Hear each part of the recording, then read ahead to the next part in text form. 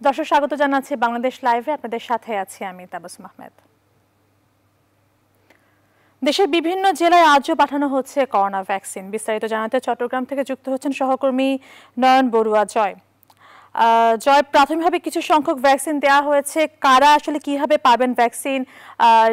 নিয়মটা কি আর সংশ্লিষ্টরা কি বলছেন এ ব্যাপারে?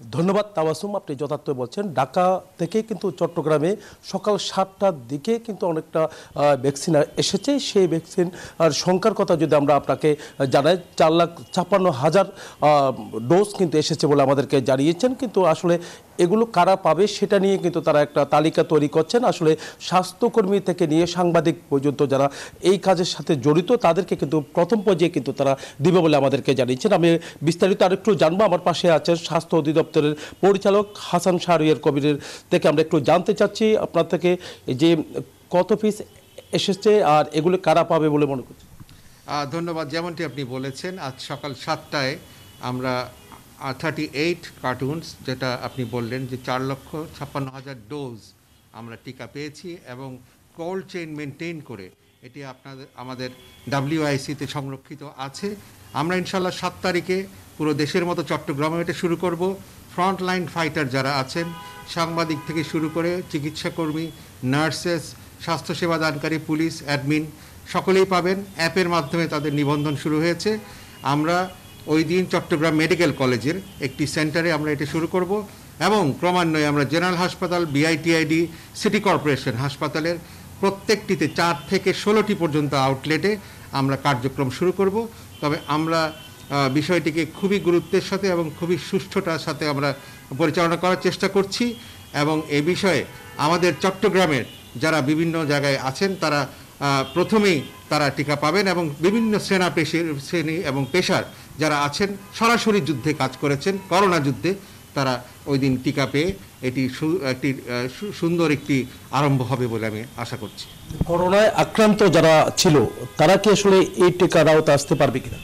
ধন্যবাদ। যারা নেগেটিভ হয়েছেন আপনারা জানেন এটির ব্যাপারে একটি পরামর্শ আছে। তারা আট সপ্তাহ অর্থাৎ দু মাস পরে তারা নিতে পারবেন। অর্থাৎ তিনি যখন থেকে নেগেটিভ হয়েছেন তার দু সপ দু- দু মাস পর থেকে অর্থাৎ আট সপ্তাহ পর থেকে তিনি এটি নেবেন এবং নেবেন না শুধুমাত্র গর্ভবতী মায়েরা এবং আঠারো বছরের নিম্ন যারা আছেন যাদের বয়স আঠারো হয়নি তারা আপাতত নিচ্ছেন না টিকার বাইরে থাকছেন। বাকি সবাই টিকার আওতায় আসবেন ক্রমান্বয়ে। উপজেলা পর্যায়ে কখন যাবে? একই সাথে আমরা প্রথমে জেলা পর্যায়ে শুরু করব। তার পাঁচ থেকে সাত দিনের মধ্যেই আমরা উপজেলায় শুরু করব এবং উপজেলা সম্পূর্ণরূপে প্রস্তুত রয়েছে। আপনারা জানেন যে এটি টু টু এইট ডিগ্রিতে মেনটেন করতে হয়। যেটির ব্যাপারে সক্ষমতা পুরো বাংলাদেশের আনাচে কানাচে রয়েছে। এবং মাননীয় প্রধানমন্ত্রী ভ্যাকসিন হিরো কিন্তু এই ভ্যাকসিনের জন্যই পেয়েছেন। সেই ভ্যাকসিনেরই আরেকটি প্রকার হচ্ছে আমাদের এই বর্তমান করোনা ভ্যাকসিন যারা এই টিকা প্রদান করবেন তাদেরকে কি প্রশিক্ষণ করা হচ্ছে কিনা? জি আপনার গতকালকে থেকে আমরা চট্টগ্রামে প্রশিক্ষণ চলছে আপনারা জানেন। এবং প্রত্যেক ফেজ বাই ফেজ আমরা ঢাকায় প্রশিক্ষণ নিয়ে এসেছি আমরা এখানে প্রশিক্ষণ দিচ্ছি এবং প্রশিক্ষণ চলমান রয়েছে এবং সাত তারিখে সে আগেই প্রশিক্ষণ সম্পন্ন হবে। কতজন প্রশিক্ষণ এটির সম্পূর্ণ সংখ্যা আপনারা আমাদের জেলাওয়ারি তথ্য আছে সেটি আপনারা উপজেলা ভিত্তিকভাবে প্রত্যেকটি সেন্টারে যতগুলি সেন্টার আছে সেখানে চারজন ভ্যাকসিনেটর আছে আর দুজন সেবাদানকারী আছেন। এভাবে যতগুলো সেন্টার তত গুণিতকে আমরা আমরা প্রশিক্ষণ দিচ্ছি। টিকা নেওয়ার নিয়মটা কি? এটি ইন্ট্রামাস্কুলার ইনজেকশন আপনারা জানেন মাংসপেশিতে দেওয়া হচ্ছে। এমন কোনো বিশেষ ইয়ের দরকার নেই। শুধু একটি বিষয় জানতে হবে প্রপার হিস্ট্রি তিনি কোনো শ্বাসকষ্টে ভুগছেন কিনা তার আগে ক্যান্সার জাতীয় কোনো জটিল রোগ ছিল কিনা অথবা তিনি বর্তমানে সুস্থ আছেন কিনা এই বিষয়গুলো আমরা নজর রাখছি। টিকা দেওয়ার আগে কি আপনাকে অ্যান্টিবডি টেস্ট করবেন কিনা? এটি আমরা বর্তমানে এটির প্রয়োজন দেখছি না। আমরা যাদের শুধুমাত্র তাদের করোনায় আক্রান্ত অবস্থায় আছেন, আক্রান্ত থেকে ভালো হয়েছেন কবে? এবং তাদের শারীরিক সুস্থতা। এই তিনটি বিষয় তিনি সম্মত আছেন কিনা? এখানে জোর করে কাউকে টিকা দেওয়া হচ্ছে না। তার সম্মতিক্রমে তিনি নিতে চাচ্ছেন এবং তিনি সুস্থ আছেন বর্তমানে। এই চারটে জিনিসের উপরে আমরা টিকা দিচ্ছি। অসংখ্য ধন্যবাদ আপনাকে। তাবাসুম আপনি অবশ্যই বুঝতে পারছেন, আমরা স্বাস্থ্য অধিদপ্তরের পরিচালক হাসান শাহরিয়ারের কবিরের সাথে কথা বলেছি। তিনি বলছেন সাধারণ মানুষ থেকে নিয়ে সবাইকে কিন্তু দেওয়ার জন্য তারা চেষ্টা চালিয়ে যাচ্ছেন, কিন্তু আপাতত তিনি বলছেন, চার লাখ ছাপ্পান্ন হাজার এসেছে। তো সাত তারিখে, সাত ফেব্রুয়ারি থেকে কিন্তু এই টিকা প্রদান শুরু হবে। চট্টগ্রাম মেডিকেলে প্রথম শুরুতে তারা শুরু করবেন। মেডিকেল থেকে এই টিকা প্রদানের পরে চট্টগ্রাম সিটি কর্পোরেশনের অধীনে যে মেডিকেল আছে, সেই মেডিকেল মেডিকেলে দেওয়া হবে এমনকি চট্টগ্রাম জেনারেল হাসপাতালেও দেওয়া হবে। একই সাথে বিআইটিআইডি একটি হাসপাতাল আছে। সেই হাসপাতালেও তারা সেই টিকা প্রদান করবে বলে আমাদেরকে জানিয়েছেন। একই সাথে কিন্তু তিনি আমাদেরকে জানিয়েছিলেন। আপনি অবশ্যই কিন্তু জানতে পেরেছেন চট্টগ্রাম শহরের বাইরেও যেগুলি উপজেলা পর্যায়ে আছে, সেই উপজেলা পর্যায়েও কিন্তু সেখানে সেই জায়গাগুলোতেও কিন্তু আসলে গ্রামীণ মানুষ যারা আছে, তাদেরকেও কিন্তু সেই টিকার আওতায় আনার জন্য তারা চেষ্টা চালিয়ে যাচ্ছে। তো এ ছিল আমার এখানকার সর্বশেষ। ফিরে যাচ্ছি স্টুডিওতে তাবাসুমের কাছে। জয়, আপনাকে অসংখ্য ধন্যবাদ। দর্শক ইতোমধ্যে কিন্তু চট্টগ্রামে করোনা ভ্যাকসিন পৌঁছে গেছে। আমাদের সহকর্মী নয়নবরাজা যুক্ত হয়েছিলেন। জানানোর জন্য প্রাথমিকভাবে কি সংখ্যক ভ্যাকসিন দেওয়া হচ্ছে, এটি পরিকল্পনাটা কি? বাংলাদেশ লাইভের পর্যায়ে নিচ্ছে একটি বিরতি, আমাদের সঙ্গেই থাকুন। আর একবার স্বাগত জানাচ্ছি বাংলাদেশ লাইভে মাঘের মাঝামাঝিতে জেঁকে বসেছে শীত, বিপর্যস্ত হয়ে পড়েছে জনজীবন। উত্তরের জেলাগুলোতে বাড়ছে শীতজনিত রোগের প্রকোপ। দর্শক, এ বিষয়ে বিস্তারিত জানাতে পঞ্চগড় ও রংপুর থেকে যুক্ত হচ্ছেন আমাদের সহকর্মী সরকার হায়দার এবং রেজাউল করিম মানিক। আমরা শুরুতেই চলে যাব রংপুরে যুক্ত হচ্ছেন সহকর্মী রেজাউল করিম মানিক। মানিক, রংপুর অঞ্চলে শীতজনিত রোগের প্রকোপ কতটুকু বেড়ে- বেড়েছে? কি বলছেন চিকিৎসকরা? এছাড়া জনজীবন কতটুকু বিপর্যস্ত হচ্ছে সেখানে?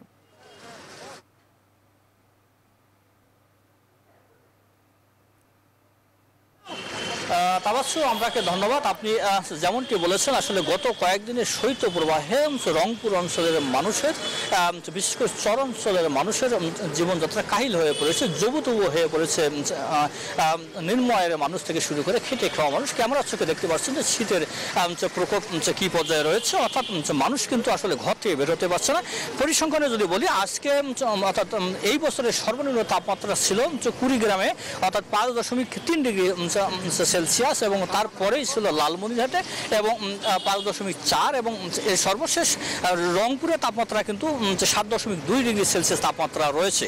তো এই পর্যায়ে পরিসংখ্যানে বোঝা যায় যে শীত কীরকম পড়েছে আর শীত বাড়ার সঙ্গে সঙ্গে বেড়েছে কিন্তু শীতজনিত রোগের প্রকোপ। অর্থাৎ এই বিষয়ে জানার জন্য শীতজনিত রোগ কতটা বেড়েছে এই বিষয়ে জানার জন্য রংপুর বিভাগের যে স্বাস্থ্য বিভাগের পরিচালক রয়েছে ডক্টর আহাদ আলী তার সাথে কথা বলতে চাই। ডক্টর আহাদ আলী আপনাকে নিউজ টোয়েন্টি স্বাগত। আপনার কাছে জানতে চাই যে শীত বাড়া আহ, শীত তীব্র প্রচণ্ড শীত কিন্তু রংপুর অঞ্চলে পড়েছে। তো এই পর্যায়ে শীত শীতে জনিত রোগের কতটা প্রকোপ বেড়েছে এবং মেডিকেল টিম কতগুলো কাজ করছে? ধন্যবাদ। নিউজ টোয়েন্টি ফোরকে যে এই সময়ে রংপুরে প্রচণ্ড শীতের প্রকোপ চলছে। শীতের শীতজনিত মানুষ কষ্ট পাচ্ছে এবং একই সাথে শীতজনিত কিছু রোগ বালাইও মানে বৃদ্ধি পেয়েছে। বিশেষ করে শিশুদের নিউমোনিয়া শিশুদের শ্বাসকষ্টের রোগ একই সাথে বৃদ্ধ মানুষ, তারাও শ্বাসকষ্টজনিত রোগে ভুগছে আর শীতের কারণে তারা কষ্ট পাচ্ছে। আমি মনে করি যে এই একটা মানে দুর্যোগের মতোই অনেকটা আমি আমি মনে করি। হয়তো বা অচিরেই এই শীত কেটে যাবে। আমরা শীতজনিত যে রোগবালাই আছে, এর জন্য চিকিৎসার পর্যাপ্ত ব্যবস্থা রেখেছি। বিভিন্ন উপজেলা এবং জেলা হাসপাতালে এই বিষয়ে ওষুধপত্রে আমাদের ঘাটতি নাই বলে আমি জানি আর কি। তবুও তা আমরা চেষ্টা করছি যদি কোনো ঘাটতি থাকে। এছাড়াও শীতজনিত ডায়রিয়া রোগেরও প্রকোপ বৃদ্ধি পেয়েছে, সে মানে কিছু কিছু ক্ষেত্রে। তা আমরা ডায়রিয়া রোগীর ক্ষেত্রে খাবার স্যালাইন এবং যে ইঞ্জেকশন স্যালাইন লাগে আইভি ফ্লুইড সেটারও আমরা পর্যাপ্ত সংস্থান রেখেছি। আমাদের ডাক্তাররা এখানে বেশি সতর্কভাবে আরও সার্ভিস দিয়ে যাচ্ছে। আমরা কথা বলছিলাম, রংপুর বিভাগের স্বাস্থ্য বিভাগের পরিচালক ডাক্তার রাহাত আলী সাথে তিনি বলছেন যে আসলে এই শীতের একটি দুর্যোগ বলে তিনি অভিহিত করেছেন। এছাড়া আরেকটি বিষয় বলি যে এই অঞ্চলে শীত বাড়ার সঙ্গে সঙ্গে কিন্তু শীত বস্ত্র যতটা বিতরণ করার কথা, ততটা কিন্তু বিতরণ করা হচ্ছে না। তো এই ছিল আমার কাছে তাবাচ্চুম সর্বশেষ ফিরে যাচ্ছি স্টুডিওতে আপনার কাছে। মানিক, আপনাকে অসংখ্য ধন্যবাদ। দর্শক, আমাদের সাথে রংপুর থেকে যুক্ত হয়েছিলেন সহকর্মী রেজল করিম মানিক। আমরা এবার চলে যাব পঞ্চগড়ে। যুক্ত হচ্ছেন সহকর্মী সরকার হায়দার। হায়দার, সর্ব উত্তরের জেলা হওয়ার কারণে কিন্তু পঞ্চগড়ে শীতের পরিমাণটি সবচেয়ে বেশি রয়েছে। হাসপাতালগুলোর কি অবস্থা? রোগীর সংখ্যা শীতজনিত কারণে কতটুকু বেড়েছে? হাসপাতালগুলো প্রস্তুত কতটুকু বা রয়েছে?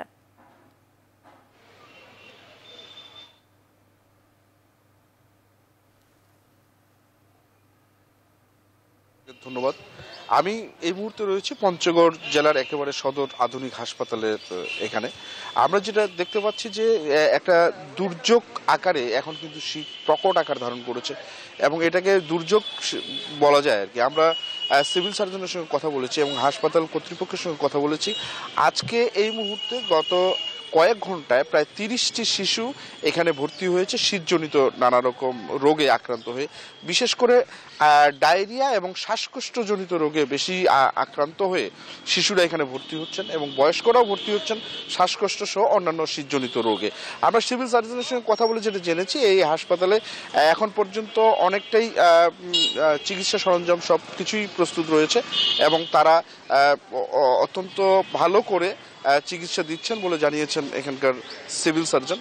তো এই এই হাসপাতালের শুধু এখানেই নয়, আমরা যদি উপজেলা কমপ্লেক্স, স্বাস্থ্য কমপ্লেক্সগুলোর দিকে তাকাই, সেখানেও কিন্তু একই রকম অবস্থা। গ্রাম থেকে বিশেষ করে গ্রামাঞ্চলের মানুষ, কিন্তু খেটে খাওয়া মানুষের, দরিদ্র মানুষরা অসুস্থ হয়ে তারা কিন্তু হাসপাতালগুলোতে ভর্তি হচ্ছেন। এবং খেটে খাওয়া মানুষ কিন্তু ঘর থেকে বের হচ্ছেন না, শীতের তীব্রতাটা এত বেশি যে ঘর থেকে কেউ বের হতে পারছে না। তো তাবাসুম এই ছিল আমার হায়দার, আপনাকে অসংখ্য ধন্যবাদ আমাদের সাথে যুক্ত হওয়ার জন্য। দর্শক, পঞ্চগড় থেকে যুক্ত হয়েছেন সহকর্মী সরকার হায়দার। বাংলাদেশ লাইভ ফের আজ এই পর্যন্ত। সবাইকে ধন্যবাদ।